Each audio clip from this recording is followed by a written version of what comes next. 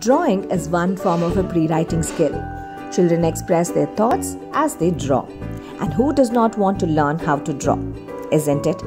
Grab our step by step tutorial for kids, beginners, and everyone else. Our easy tutorials come super handy, which is helpful and perfect for children of 3 to 6 years of age. Let's draw big in today's class. To do this exercise, all we need is some sketch pens, markers, and color pencils. Let's sing along as we draw. One circle, one circle, one big circle. One circle, one circle, one big circle. One circle, one circle, one big circle. W, W, W, W, and an E. The circle looks like an oval, but it's fine. Let's do it again.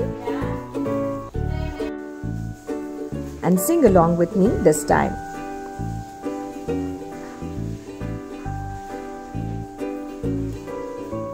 One circle, one circle, one big circle, one circle, one circle, one big circle, one circle, one circle, one big circle, W, W, W, W, and an E. Can add on to some more lines.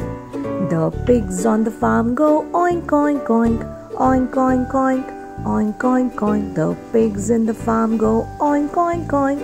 Let us now draw it. One circle, one circle, one big circle. One circle, one circle, one big circle. One circle, one circle, one big circle. W, W, W, W, and an E. That was very simple. So you can draw as many pigs as possible in the farm and I have done three so you could practice until you get it right. Okay, now it's time for some coloring so you can grab your color pencils and color the pigs and the farm. Over to you. Make sure as you're coloring you would be following the left to right directions. It's very essential that we will be coloring within the image. To be very precise, you could also use color pencils or crayons or even the oil pastels if you're a beginner. And we continue coloring